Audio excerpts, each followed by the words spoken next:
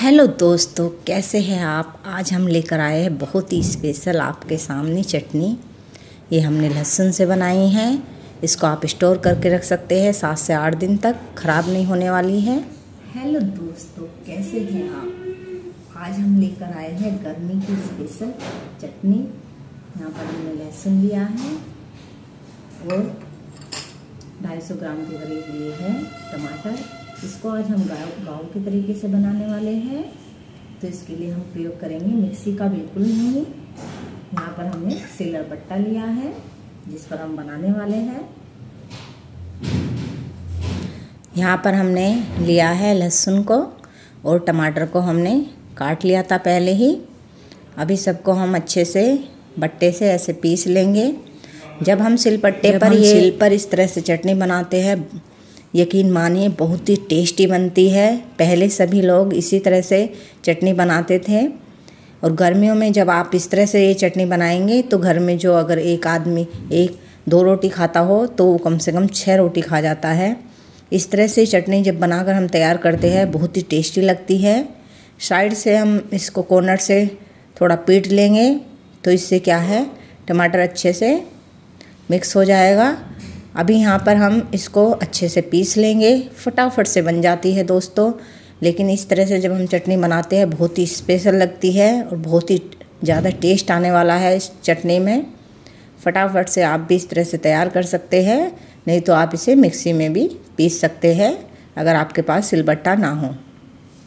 अच्छे से हमने इसका महीन पेस्ट बना लिया है और इसके जो छिलके हैं, जब आप इसे पीसोगे तो अपने आप ही ऊपर आ जाते हैं। इसको हम साइड में निकाल देंगे सभी को और इसको बिल्कुल बारीक कर लेंगे। यहाँ पर हमें इस चटनी में बिल्कुल भी पानी का इस्तेमाल नहीं करना है। बिना पानी के हम इस चटनी को बनाएँगे। बहुत ही बेहतरीन बनकर तैयार होती है दोस्तों इस तरह से। अभी इसको हम हाथों की सहायता से एक बाउल में डाल लेंगे। हाथ मैंने काफ़ी अच्छे से साफ़ किए हुए हैं। इसी तरह से बिल्कुल साफ़ कर देना है। चटनी बिल्कुल नहीं हम छोड़ेंगे क्योंकि हमारी बिल्कुल भी वेस्ट नहीं होनी चाहिए।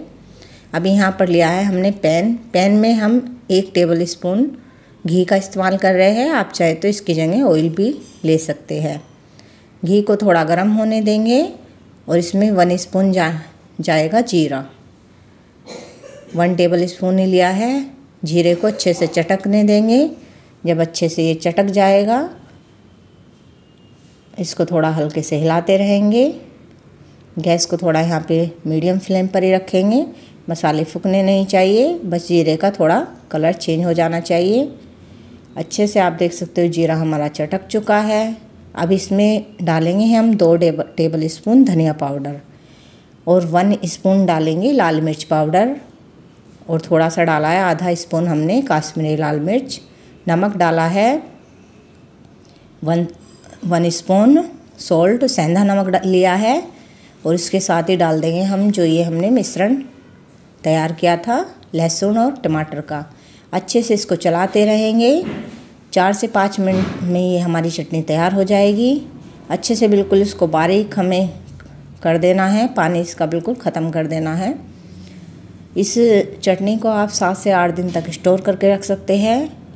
बहुत ही बेहतरीन लगती है दोस्तों। गर्मियों में इस तरह की आप चटनी बनाएँ और इन्जॉय कीजिए।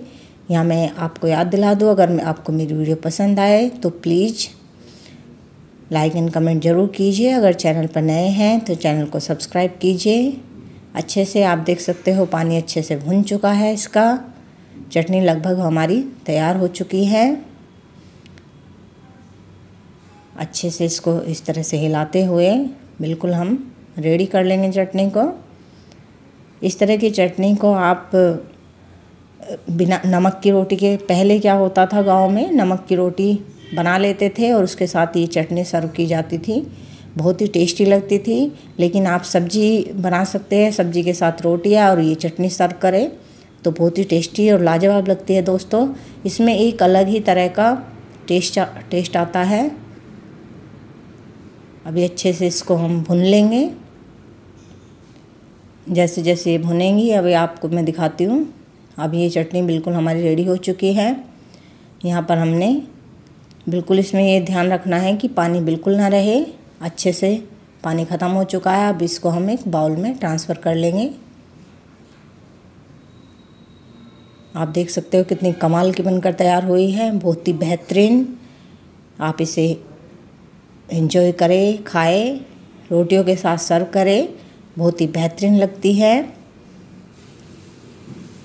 Wow super thanks for watching मिलते हैं नेक्स्ट वीडियो में एक नई रेसिपी के साथ। पसंद आए तो कमेंट कमेंट ज़रूर करना।